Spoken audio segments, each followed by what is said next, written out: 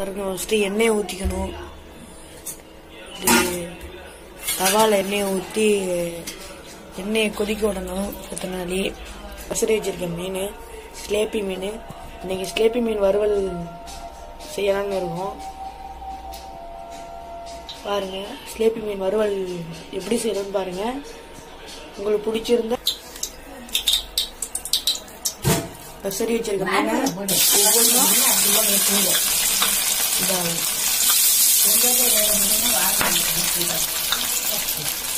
பார்த்து என்ன தெரிக்கும் கொஞ்சம் தூரமாக இருந்து நீங்கள் மீனை போடலாம்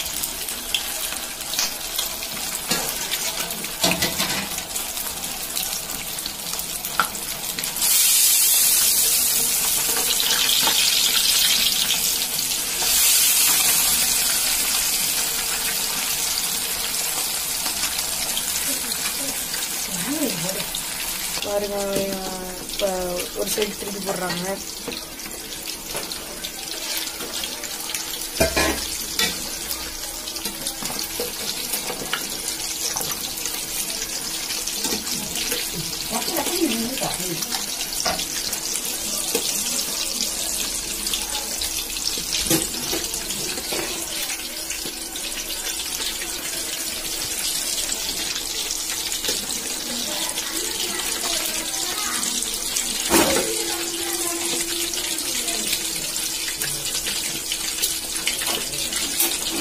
இப்போ மீன் எடுத்துக்கிட்டு இருக்கோம் மீன் வெந்ததும் மீன் எடுத்துக்கிட்டு இருக்கோம் வேக விடு வேக விடு எனக்கு எனக்கு வேக விடுமா வேக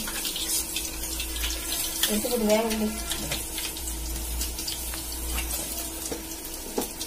மீன் வெந்துருச்சு. மீன்